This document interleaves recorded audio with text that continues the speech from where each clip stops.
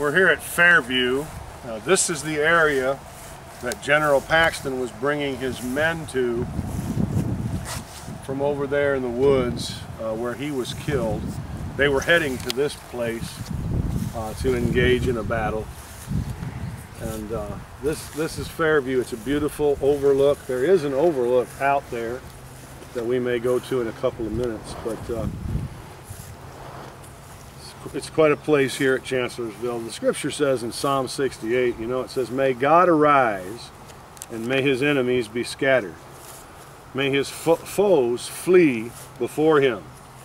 May you blow them away like smoke, as wax melts before the fire. May the wicked perish before God. But may the righteous be glad and rejoice before God. May they be happy and joyful. Sing to God. Sing in praises of his name. Extol him who rides on the clouds. Rejoice before him. His name is the Lord, a father to the fatherless, a defender of widows is God in his holy temple. And you know, it's, it's interesting that this verse should even be here because after the Civil War, there were a lot of fatherless. There were a lot of widows. And I believe with all my heart, and, and not only the Civil War, but every other war known to mankind. And I believe with all of my heart that God keeps his promise. And he takes care of those fatherless children, and he takes care of those widows in the name of Jesus. The Word of God is true, and the promises are real. And sometimes, you know, we have to look for our blessings in the strangest of places. Sometimes we have to just see things see the hand of God in things that the world looks at it and says, man, that is such a disaster. That is such a tragedy. But we can see the hand of God working and providing for us and caring for us all along the way. So I want to encourage you today from Fairview at the Battle of Chancellorsville. Again, this is where General Paxton was bringing his troops through those woods when he was shot and killed.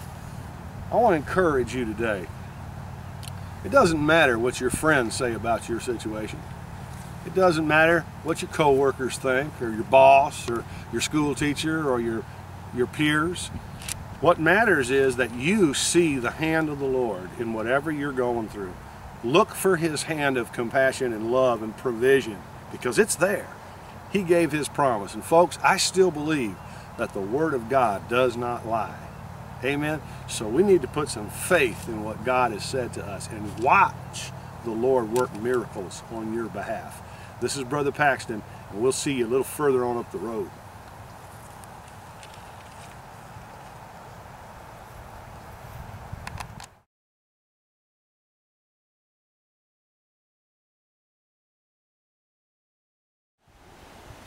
We are at the spot of the, the bivouac between Lee and Jackson. This was the final meeting between the two before General Jackson was shot here at the Battle of Chancellorsville. Those two cedar trees directly in front of you, it looks like a little triangle here. There's a third tree here in the front, and then the two trees in the back are cedars that were planted here to commemorate the final meeting between the two, one for Lee and one for Jackson. So those trees are really huge and they're only about 149 years old or whatever it is.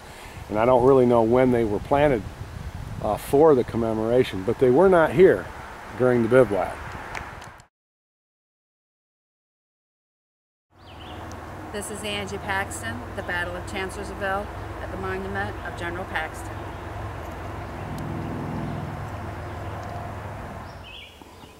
Mark 10, 14 and 15. Let the little children come unto me, and do not forbid them, for such is the kingdom of God. Assuredly I say unto you, Whoever does not receive the kingdom of God as a little child will by no means enter in. Well, it's been an exciting morning of day number two at the Chancellorsville battlefield, day number nine of the battlefield prayer tour. And we're excited now. We're going to go in for lunch and then we're going to come back out to uh, other various sites. I'm sitting here at the spot of the final meeting between General Lee and General Jackson at the Battle of Chancellorsville.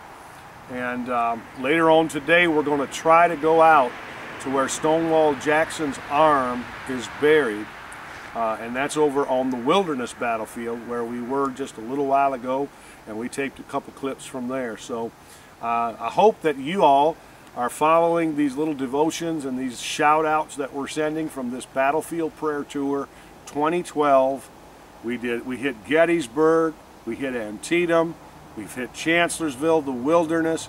We went to brandy station this morning. We went to germanna ford and there's several other spots that we're going to be on yet uh, before we head home to michigan. So thanks for for watching these videos. Listen i really appreciate you taking the time to actually watch the material.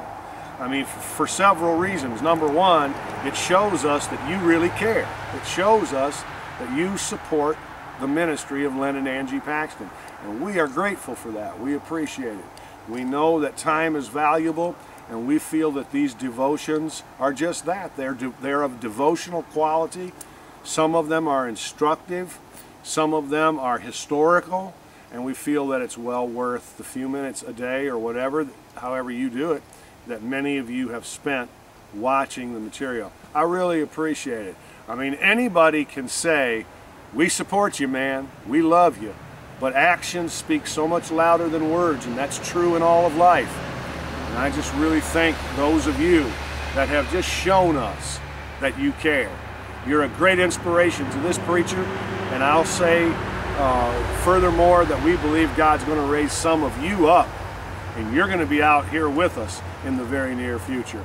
So this is Brother Paxton, and we'll see you a little further up the road.